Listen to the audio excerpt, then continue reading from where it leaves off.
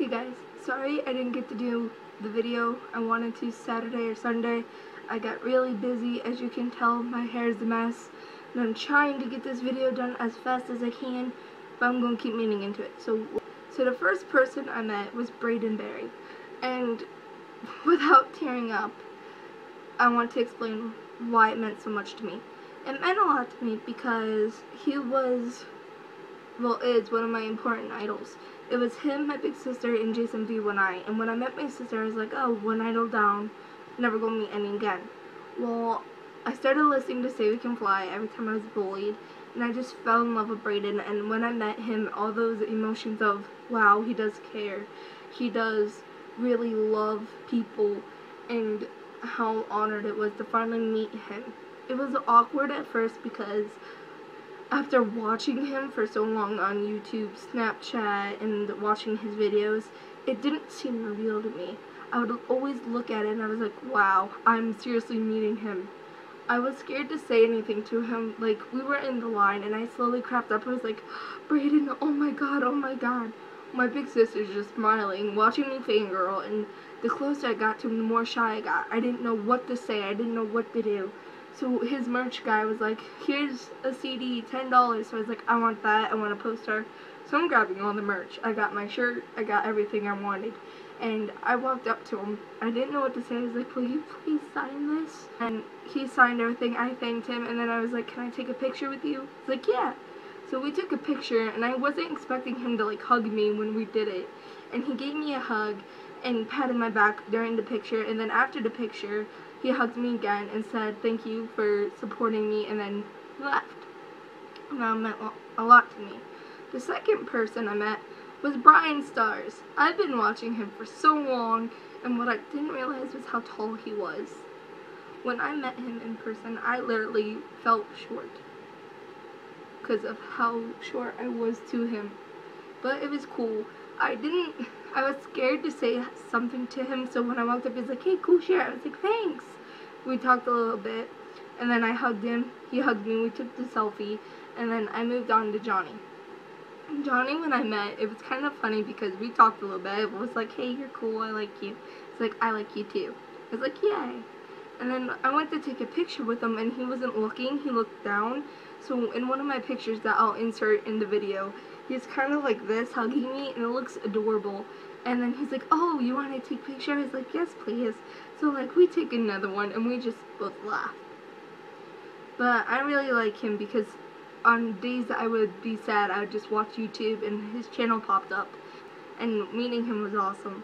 Then I met Damon. When I met Damon, it was a little awkward because he seemed a little bit busy like he wasn't focused because I was like, hi Damon. He's like, hey. I was like, nice hair. He's like, thanks.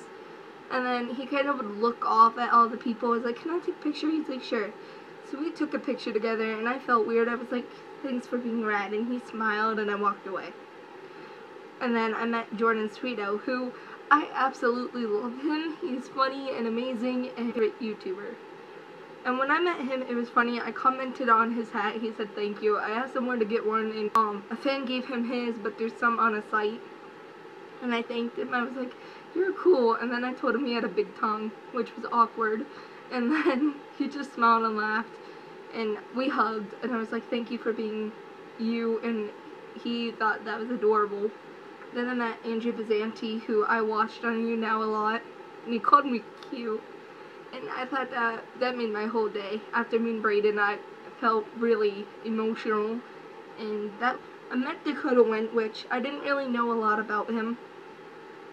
But when I met Dakota, it was cool. I asked him about his tattoo. He said it didn't hurt, and then me and him talked a little bit about other stuff, and it was fun. And it was just cool. The last person I met there was Patty Walters. Now, he, I'm not uh, like as crazy about him as my big sister is, but I love his some of his songs. And when I met him, it was awkward because I hugged him first a little bit, took the picture. In the picture, my face is really red because I got sunburned and did not realize it till after the fact. Like meeting all these people because they're so awesome. A lot of them have impacted my life, like Braden. That's a time I will never forget because him and my big sister and Jason V when I impacted my life so much. From when I was getting bullied on Yik Yak to even now, they're the ones I turned to, and I was like, wow, I can't believe I met him. After Warped Tour, I like my, I waited for my sister to go to bed. I just like bawled my eyes out because I was so happy but yet sad. I was sad because I had to leave and probably never meet Braden again, but I'm hoping I do, and then I can tell him he's rad and impacted my life so much because I won't be as shy. And I was happy because I got to meet all the Warped Tour. You should. Um, so I'm gonna stop the video here. At the end, I'm going to have a little. You'll see it, but it's gonna be a little slideshow I make of all the pictures, and they're gonna be cool. And you get to see me with them. And if you have any comments, you can put them in the comments below. Give me a big thumbs up. And stay strong, stay rad, stay beautiful, and stay you. And I'll see you guys on Wednesday. I might have a special guest, I might not. We'll have to see. So, yeah. See you guys later.